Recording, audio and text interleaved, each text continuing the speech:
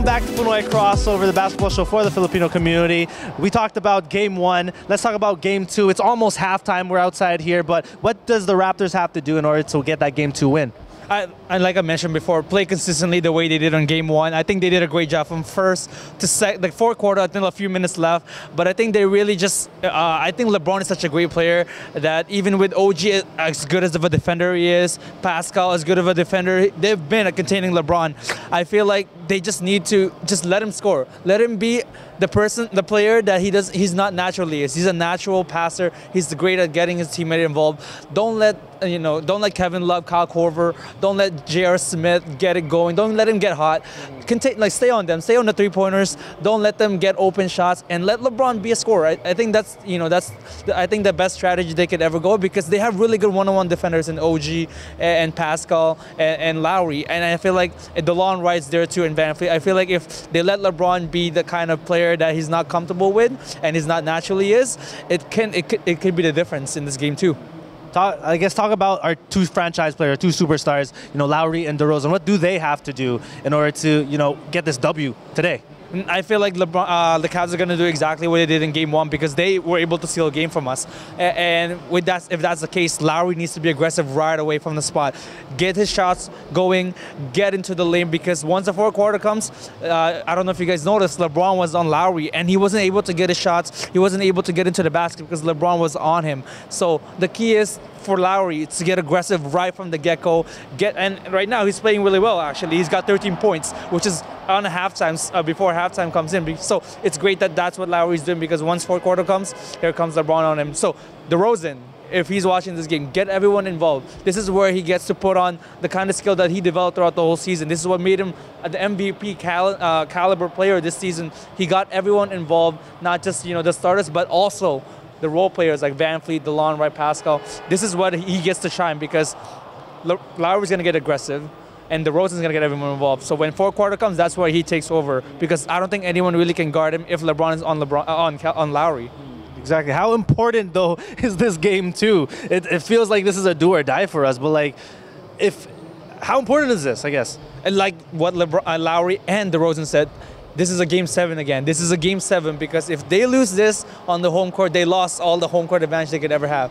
And and it's hard for them to win at Cleveland. It's hard when LeBron feels home. That's scary. That's scary. They have to win this. They have to get you know clearly into this series because into this game because after they go back in Cleveland, it's really tough to win one game. Imagine having to win two. That is you talked about going back, so in a moment we're gonna go back into Jurassic Park and we'll show you some behind the scenes of chilling with all the raptors in Jurassic Park. So watch us over there. All right, that's our second segment.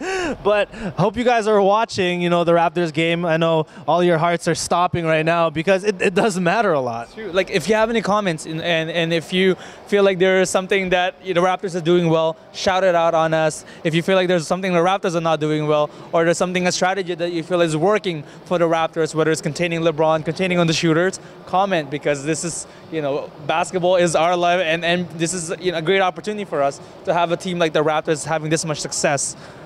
Oh, but let's also shout out some stuff happening. We'll be at Zelda Fest. oh, yeah, this Saturday, guys. This Saturday, we got you know we got really good friends from the Southeast Cartel. We can shout out to Ray and Ian, who's giving us the opportunity to be part of their show. We're gonna be there, and we're gonna do our favorite game that we used to play, called Can You Score. So if you're gonna be there, come play. yes, that's Fest Tagalog rap. So if anyone's ball and ball and hip hop go together, ball and rap go together. So if you want to showcase your skills, we'll have some. Uh, we'll have a prize. So see if you can shoot our, in our game. Can you score? But again, Filipino TV. We're not really on set right now. We're outside of set. yeah, but you know it's it's fine. We we still feel the vibe. We got we got a. We can't lie. We got kicked out. we got kicked out. But Filipinos, you know, we, we're here to watch basketball, so we're gonna try to make our way inside again. But you know, it's good to be out here. Anjo's here. Anjo! Come here, Anjo! Mr. Basketball. yeah, Anjo. Come on. Kamusta Yeah, no, yeah.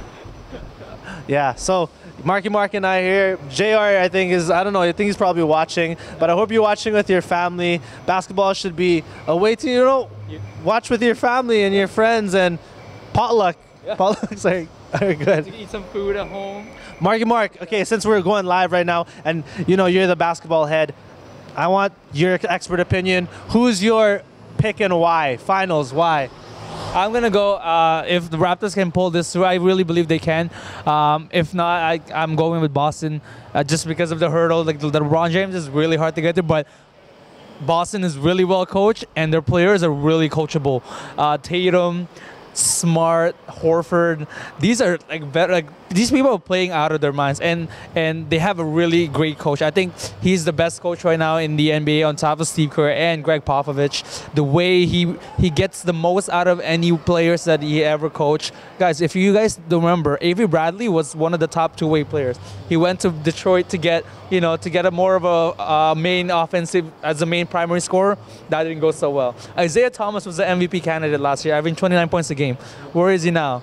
Right? The players that he was, you know, that he was given, he made the most of every single one of them. Jae Crowder was a great player too when he moved to Cleveland. Didn't work well. Now he's making the most in the, in the Jazz because Quin Snyder is a good coach, but Brad Stevens made the most of any player that he can get, and I think he's doing the same thing with the Boston right now. So I think they are going to come out of it.